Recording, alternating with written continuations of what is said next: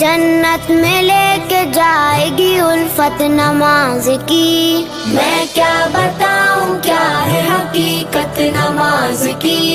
मैं क्या बताऊँ क्या है हकीकत नमाज की